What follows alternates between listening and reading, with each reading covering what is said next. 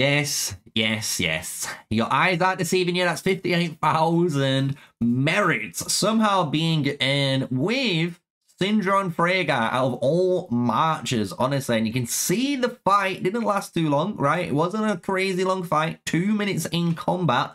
But for two minutes, we nearly earned 60,000 merits. And you're probably wondering why, how, what the hell's going on, right? Because in Call of Dragons recently, there's been a little, I don't know what they've done, a sneaky stealth patch, again, without telling us any of the details, but the merits have definitely been nerfed, guys. And everyone's trying to figure out the best marches to be running right now, again, to maximize on merit gain.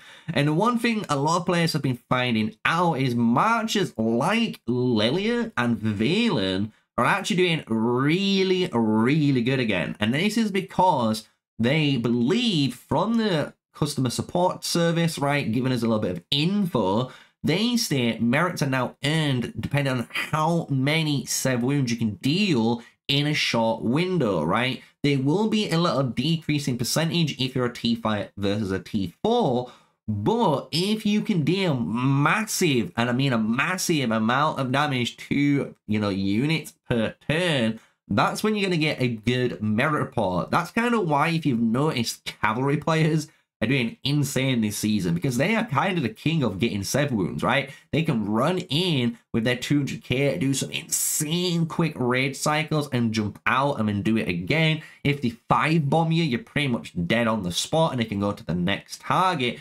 So you can see why Cavalry are doing really, really well, and stuff like Valen and Lilia are again doing really, really well. Now, when we look at other areas, you're going to get some good reports on stuff like Magrat, right? Magrat is going to give you some good reports in the game, no doubt about it. Same with the Burt Toha uh, March, right? Going to give you some good reports. And that's because of just how long and sustained that match is out there. So you know if you bring out a Magrat, you're basically gonna be out there for a long time. I'm gonna be honest. You're gonna be out there for a super long time and you're not gonna be dying. So that's kind of why you're bringing out the Magrats. However, you can get, as you've seen, 58,000 merits through Syndrion and Freyga. And the reason why I believe you're able to do that is on the same principle of Lilia and all of the mages and cavalry is because Syndrion is a super heavy burst hero when you think about it. The way rapid fire is working, you are dealing two attacks per turn. And if you are running, you know, certain pages, this is the page I was running, which gives you Mighty Slash, which is initially launching an additional attack again once every 20 seconds, right? When you get this kind of stars aligned, especially with the rapid fire at the start of combat, and then when you get to trigger it again, you're doubling up on the attacks. That means you're doubling up on the seven wounds per turn, comparing that to someone like a Kadara Nico or the Magrat Zeta. These will give you some good trades over time, but they're not giving you some insane merit report. But Syndrion Freyga will, and I think it is all because of rapid fire. So what I'm going to be doing in the future, I'm going to be honest, I'm going to see how good Syndrion is and see if this is the hero that's actually giving you the merit report and it's not just Freyga and Syndrion together, right? Um, to show this, what we're going to do is go into some gameplay now of when I got that 58.3k um, merits. So let's go into it. And welcome, welcome to the gameplay side. And we're going to be using Goresh, Schoolgirl, Kanara, Nico. We've got a Lilia and a Valen, and then my Syndrion Freyga, right? And one thing you're going to need to know is the way I play this fight is one of the, I want to say greediest ways, but it's one of the best ways I honestly feel if you're playing archers this season, it's really good to get one infantry in your build. If you can get one infantry match or two and run three archers, you're going to be able to do stuff like I'm about to do on screen. And you're probably running, there's no way you're able to do this, but you can as a T5 player, I'm going to be honest. And I was running T4 here too. Remember that. I was running mixed T5 and T4. So when we're going into this report now, what you're going to see is the Goresh is basically the main target burden, right? He's going to go in onto the target and make sure they get slowed and locked down so my archers and my DPS can kill them. So we start off the fight at the very top. We're going to focus on these top guys when we're going into this fight. You can see oh, everyone dying here. And to the south, you can see now these guys are going to get trapped, right? Because this is the bridge that the troops and the reinforcements are going in. And this is where I go F it. We're going straight in. We see a cavalry, boom instantly melt the cavalry. There's an atheist there. Boom, onto the atheist. We can start melting him now boom, go straight onto the, you know, wild deer. Now going onto a healthier Lilia. And this is one thing I've always done. And you'll notice in the gameplay, if I find a healthier target, I instantly switch to them. It sounds crazy, I know, but this is how I've been noticing I'm getting better and better reports. If I can find someone I'm fighting that has higher HP when I start the initial fight, I'm switching onto him, right? You can see I'm going on, see this guy, boom, instantly. Switch onto this guy. I don't care about that red bar guy anymore. We can finish him off really quickly there. But now going on to the next one, you can see this is how I believe you should be playing your archers and infantry together. You want them both in harmony because the thing is with archers, guys, especially when you're doing stuff like this against mages, you are fully taking advantage of your unit advantage system here. You have to think about it. Your own infantry, if you bring one or two marchers with your three archer legions, what's going to happen is that front line is going to hit. They're going to try and suck the damage. The mages have to deal with that. Otherwise, they're just going to take extra damage for no reason. They could get stunned. They could get taunted. They have so many issues to deal with.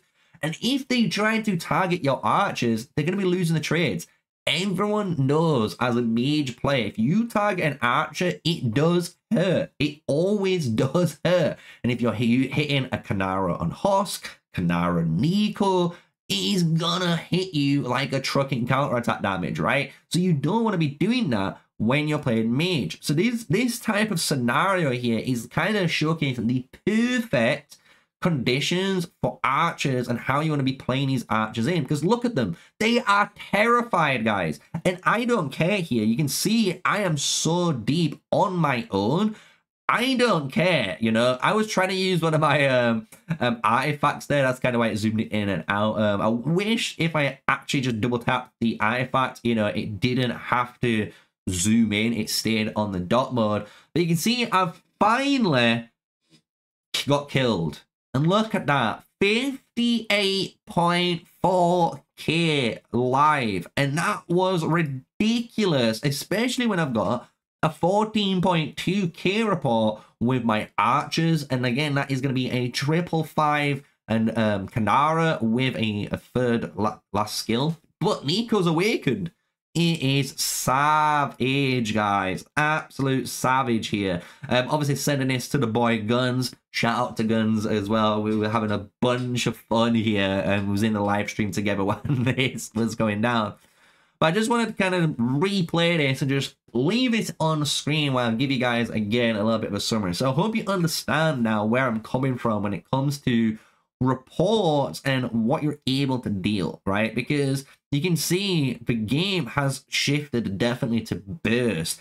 Heroes that are able to do a really good single target burst or just a massive amount of AoE burst are actually getting really good reports. And players that are doing the like Lilia and Fears, they are getting some great reports. I'm not gonna lie. But a Lilia Valen somehow is doing way more in the merit department. And that is just because of the way merits seem to have changed, right? So hope you guys have enjoyed so far this video. What I'm going to do just to finish things off for you guys is just to go into my hero section here and just, again, showcase all the heroes that we're using and the talent pages. So if you want to try it out yourself, you can, right? So I was running Syndrion Freyga here, Syndrion Freyga, and I am running Greyma's Ballista on Syndrion and Freyga because the thing is, we do use rapid um, fire quite often. And when we get that rapid fire trigger, I kind of love the fact I get another 20% normal attack damage bonus and the fact if anyone targets me, I'm going to get a counter attack damage bonus. This also, as a heads up, not relevant to the match, but if you do put Greyma's Ballista on your Syndrion, it's kind of perfect for Kanara. because you know your Kanara is going to get this massive counter attack damage dealt bonus, and you're giving her free counter attack damage because of the Nico skill. So you're getting that synergy instantly from that hero, but you're getting a better single target DPS hero than Nico, right? So it's kind of cool how you're able to do that. But we're running Syndrion and Freyga, just to just to say it one last time, right? Syndrion and Freyga, 5533, so I don't even have the best skill maxed out on her. Uh, but when we look at our talent page, this is the talent page I have been running, where we get some nice foundational skills. We go down the precision tree. We take Mighty Slash. I absolutely love this on um, my Syndrion now, especially with this current patch. It seems to be doing a lot more work. And then we went over to the maximum side. Got that 15%, guys. You need to. Um, please, if you're a marksman guy, get this 15% on every page. You're going to thank me later. You will thank me later. It gets you in and out of situations very, very tight. Um, for the Nico and Kanara, right? I ran Kanara primary. And the thing is, I ran Kanara primary on purpose because I've been running this page on it and it's not a bad page at all but you'll notice it honestly weren't generating nowhere near as many merits as the other page. So what I'm going to try and do is test some things out. I'm going to go down this kind of route and go for the armor break through ambush and then do take autumn rain. So I whenever I cast a rage skill if the enemy I'm fighting has a buff like increased HP increased defense increased attack I'm actually going to remove potentially one of those buffs that could allow me to hit them even harder, which I think is going to be a very powerful thing actually in the long run. That's why I'm taking it now. I want to get ahead of the curve. So uh, once we've got all of this, I would be taking, as you can see, shower of blows here and finishing off with um, dealing 1% extra to magic units just to get that uh, page build done.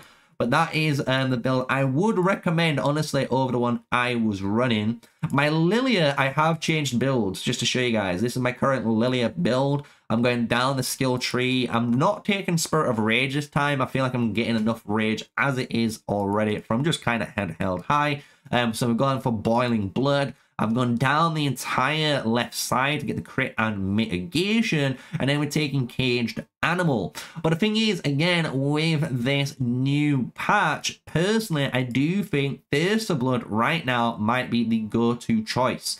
Um, just having an extra little bit of skill damage factor added to the damage is going to actually, I think, give you more better merit reports in the long run.